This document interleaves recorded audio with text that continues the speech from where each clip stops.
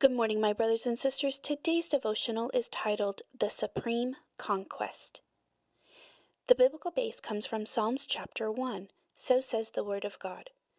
Blessed is the man who walks not in the counsel of the ungodly, nor stands in the path of sinners, nor sits in the seat of the scornful.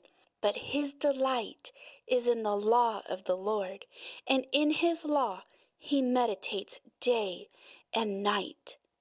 He shall be like a tree planted by the rivers of water that brings forth its fruit in its season, whose leaf also shall not wither, and whatever he does shall prosper. The ungodly are not so, but they are like the chaff which the wind drives away. Therefore, the ungodly shall not stand in the judgment, nor sinners in the congregation of the righteous. For the Lord knows the way of the righteous, but the way of the ungodly shall perish. Amen. History records great conquests of men who set their sights on climbing the highest mountains, wrestling with suffering and danger, and risking their lives.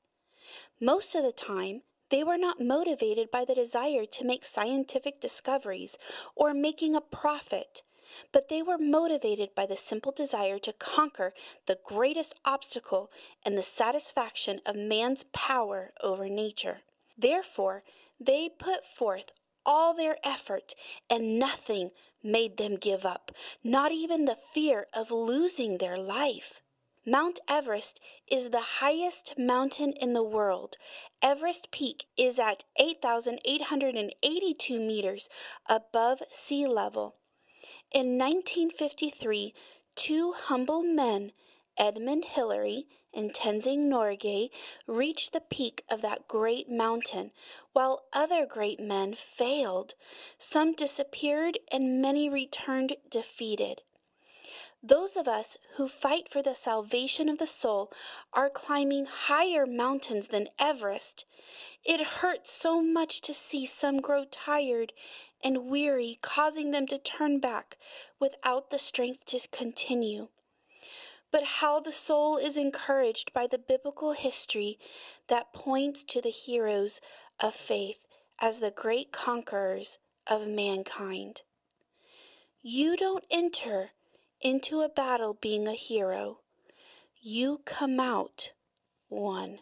Amen.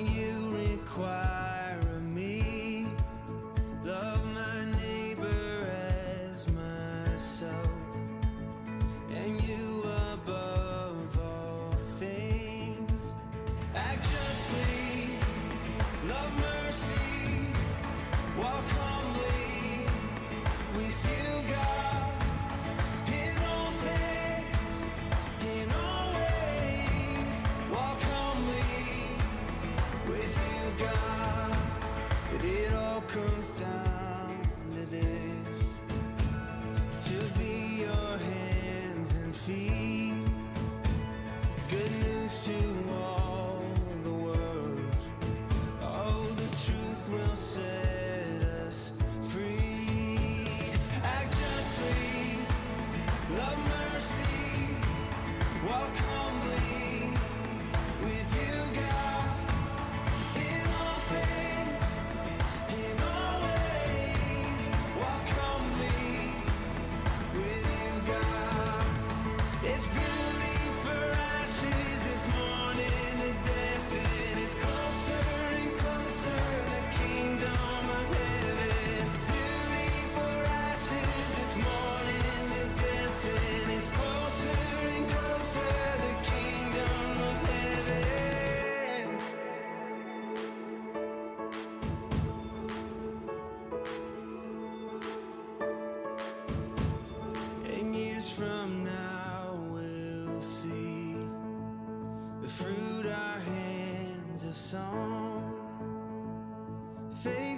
like a seed.